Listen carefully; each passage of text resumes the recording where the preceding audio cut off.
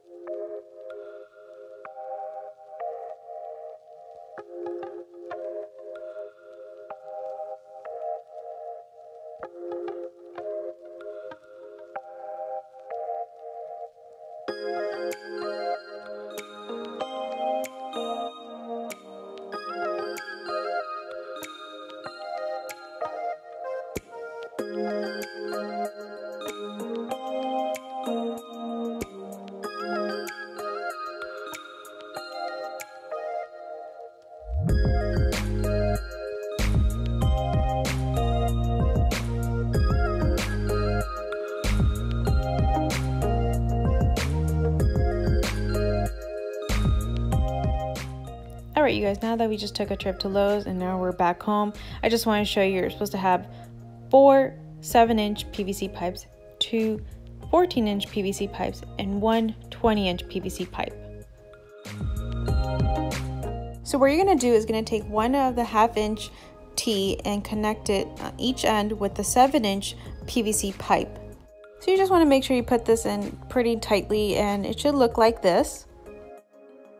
And you're just going to repeat that same process. So the other two 7 inch PVC pipes you have left over, you're going to connect that to the half inch T.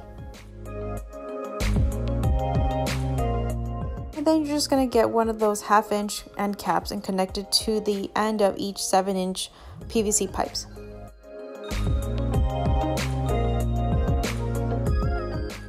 Now you're just going to grab the 14 inch PVC pipe and connect it to the top of that half inch T. And it pretty much should look like this. So once you connect everything together, it'll all make sense, I promise. But now we're just gonna connect the half inch elbow to the top of that 14 inch PVC pipe. And next we're gonna grab the 20 inch PVC pipe and we're gonna drill a hole right in the middle of it. So here is a close-up of how it's supposed to look like. So you're supposed to put the two metal washers, which is supposed to be the 1 4th inch, with the 1 4th lock washer as well.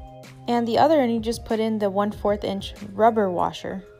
And here I'm just going to screw in my phone holder so it's going to hold my iPhone in place so when I'm recording. And this is the final product on how it should look like. I do have my iPhone 8 Plus hooked on there so you guys can see exactly what I'm seeing and how it's supposed to look like. Definitely love how this project came out. Totally going to be a game changer for me when I record videos now.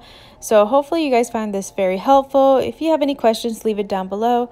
And again, thank you guys so much for watching. Don't forget to like and subscribe and I'll see you next time. Bye.